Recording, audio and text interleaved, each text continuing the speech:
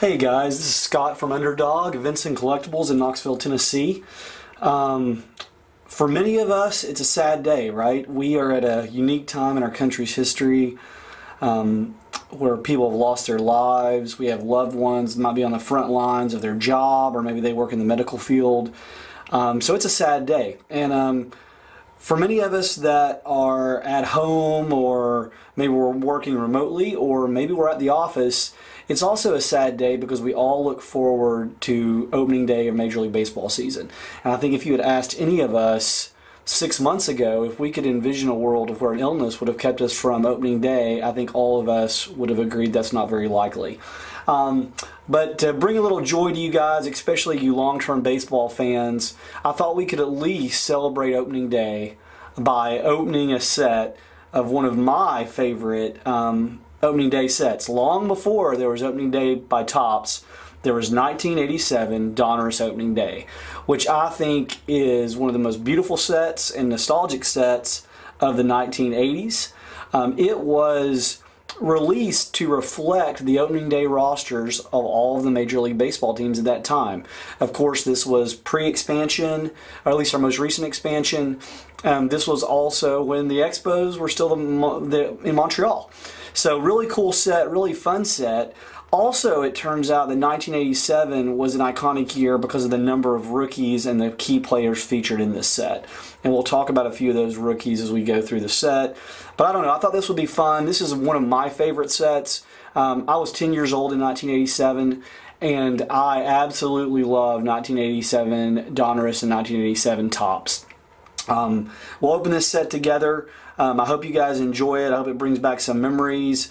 Um, I also hope it's at least a little bit of a replacement for opening day, but I do know that it is in no way a replacement for opening day baseball.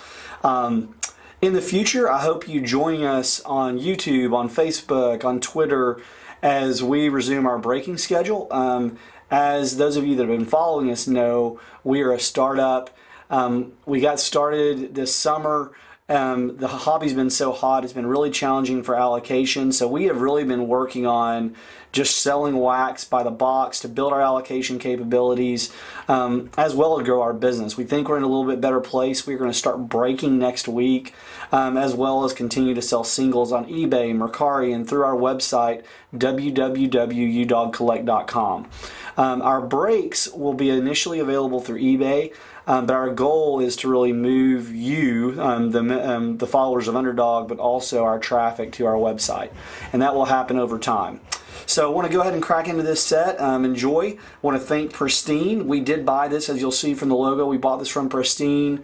Um, you'll notice the wrapper is just a bit damaged. Um, we've been in the process of moving, so that actually happened in our move. This still is an unopened set, and it arrived to us in pristine condition um, from Pristine. So that being said, let's tear into it. So opening day was not sold by the pack. It was only sold as a complete set in boxes like this. Um, one of the primary retailers at the time um, was Target and Kmart. You, this is not something that you would find um, other places. You would find them if you remember KB um, Toys. KB Toys was a really um, popular retailer at, in, in the mall scene back in the 80s. I do apologize for some of the noise you hear in the background.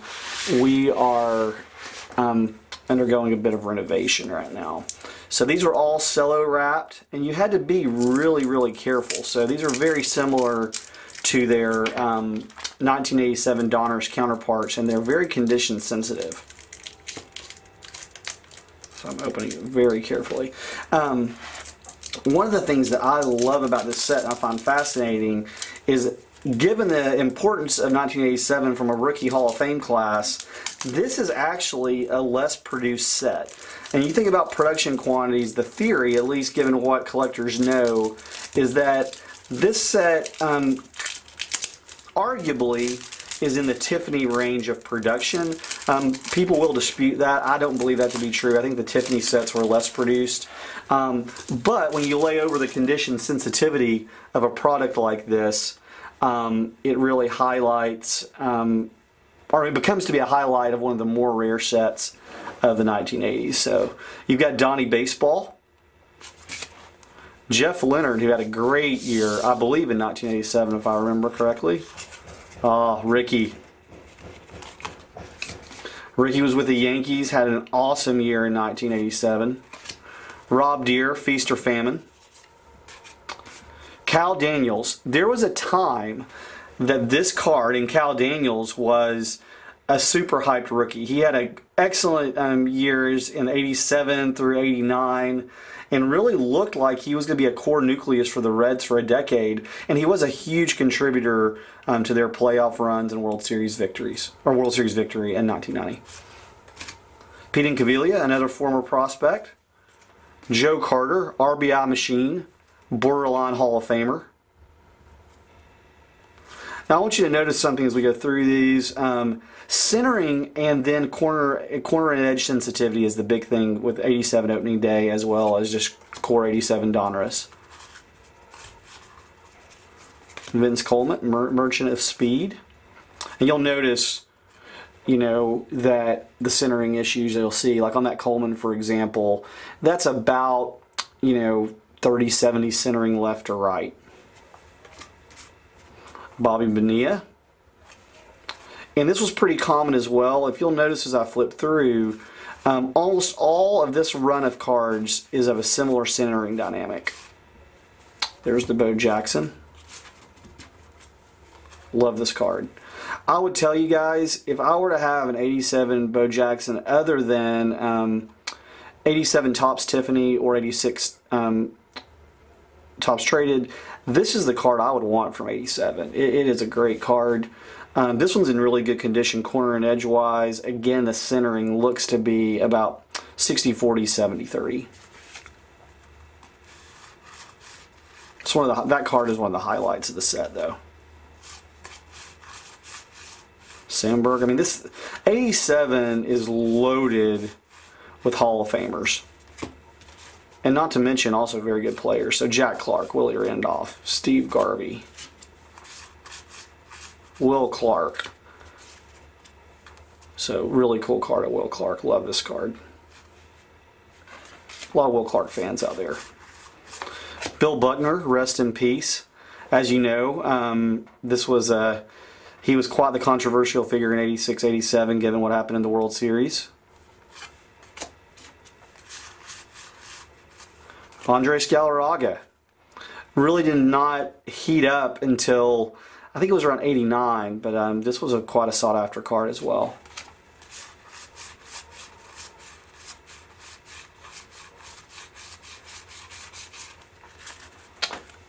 Again, just a beautiful set. Um, of course, one of the cards we're working toward, and that everyone wonders, well, will it be um, the error or not? Barry Bonds' card in this set initially featured Johnny Ray um, a not so iconic Pittsburgh Pirate. Um, it's estimated that less than 1% of the sets released had Johnny the Johnny Ray photo instead of the Barry Bonds photo. There's Dave Parker. Now, if you notice, as we get into this um, this second column of the set, the centering on these cards is really, really solid. Much better than the previous cello wrapped. Don't know how the supply chain worked on this set. Um, obviously, they were hand stacked and hand assembled. There's the Tony Gwynn guard. Really good shape, by the way. Sorry, I was off screen there for a second. Mickey Tettleton. What a run he had. Andy Van Slyke. Tony Fernandez, rest in peace. He passed away this year. Tom Browning, who would go on to pitch a perfect game and be a key part of the Reds World Series victory a couple years later. Harold Baines, Hall of Famer. Danny Tartabull was a up and coming prospect in 1987 and went on to have a great career. Darryl Strawberry. That card looks great. Something else to think about. There was Andre Dawson. He actually won the MVP in 1987. Also a Hall of Famer. Has a little bit of a printing flaw there. Ken Griffey. So Ken Griffey played for the Braves in 1987, was a key contributor on a very bad team.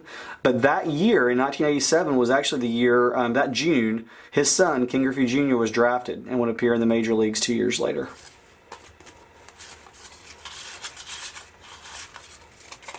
Terry Pendleton went on to win the MVP.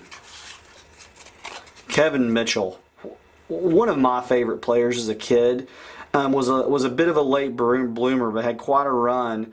Where over about a three to four year span, um, he had over 120 home runs.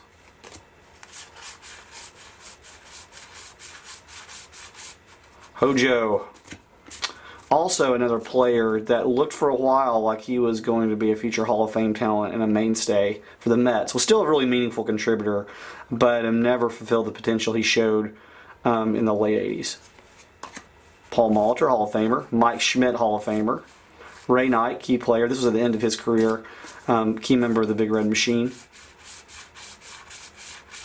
George Brett, beautiful card. Um, another thing on these cards that you'll see and this is not something that you would see as they're pulled fresh, but the ink on opening day was a bit subpar. And um, you will see PSA 10s that have perfect corners, um, and perfect edges, great centering, and then over time the ink will have faded.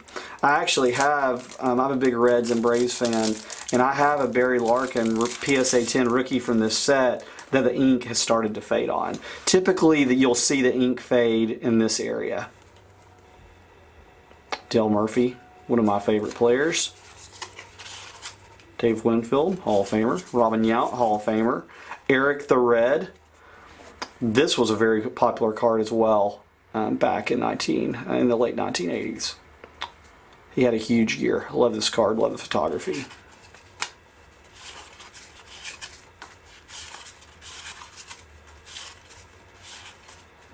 Kirby Puckett. Looks like that one was shot in the on deck circle. We are getting close to the um, Barry Bonds guys.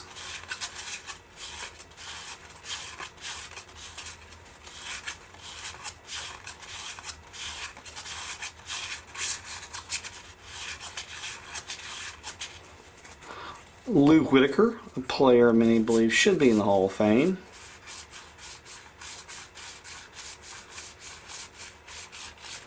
And there is the Bonds. So this is not the error. That Bonds, um, pretty good condition. We've got a slightly soft corner in the bottom right and a little bit of centering. Um, it's probably, gosh, it looks 70-30 left to right. I love that card. But where I was going is that, um, you know, one of the key cards from 87, and probably the second, I guess maybe the second most valuable card, um, is the Greg Maddux rookie. But Greg Maddux was not featured in the opening day set. He was not um, on the Cubs opening day ro- or projected opening day roster. And that is also why, if you remember in 87, He's not featured in 87 Topps either. He is um, in the traded set, and that's his traded rookie XRC. Benito Santiago.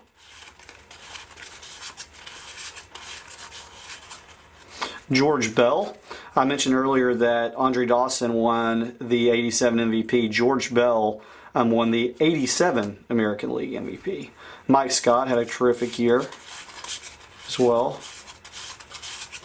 Gary Carter, Hall of Famer. Burt Bert Blyleven, Hall of Famer.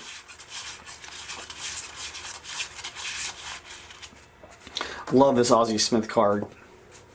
Just love the, the swing, shot of his swing.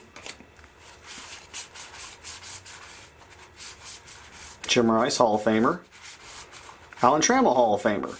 Again, Cal Ripken, one of the most loaded 87, 88, those sets feature more Hall of Famers than almost any set in the history of baseball cards. Not well centered, but still a cool card. Devon White, who was quite, quite the prospect, went on to a solid career. Julio Franco, I think he was already um, about 85 years old in this card, but still had the Jerry curl of a 28 um, year old.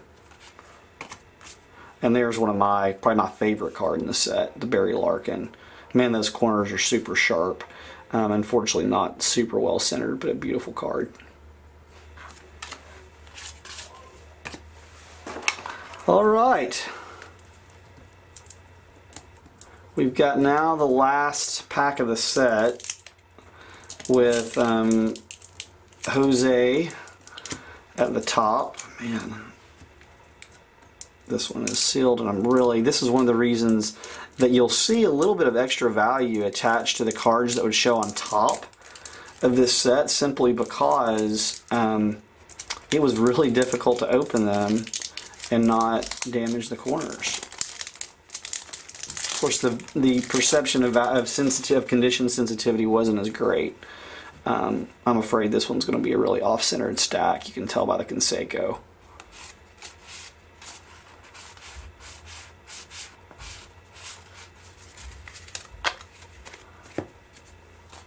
Reggie Jackson. Always gave it a full swing. Uh, one of my favorite cards, Fred McGriff. Very off center, but, but great card. Carlton Fisk in the Hall of Fame. Again, guys, I apologize the noise in the background. There's really nothing I can do to fully shut it out. So um, the set wraps up. You had a team checklist that featured the the um, opening day um, lineups or their projected opening day lineups for each team. Every um, box then also featured um, three puzzle pieces, and Clemente was the puzzle piece of that year. These are really cool, and you actually have pirates and Clemente collectors that love these, and we'll get them um, slabbed and graded. Well, guys, hey, thanks for tuning in. I hope this was at least a little bit of opening day fun for you. Um, if, it, if it were up to me, if you're a guy that collected in the 80s like I did, go out and get yourself a Larkin rookie. Get yourself a Bonds from opening day. Eric Davis, Gwynn, Galarraga, all these guys, Bo Jackson. Um, it's a great set. Um, I can't wait to actually be talking about real baseball with you guys again soon. Um, but enjoy you giving this video a watch and learning a little bit more about Underdog. Um, have a great day and stay safe, and I'll be um, praying for your families and hope that they are well and healthy as we get through COVID 19. Good, goodbye. Hang out.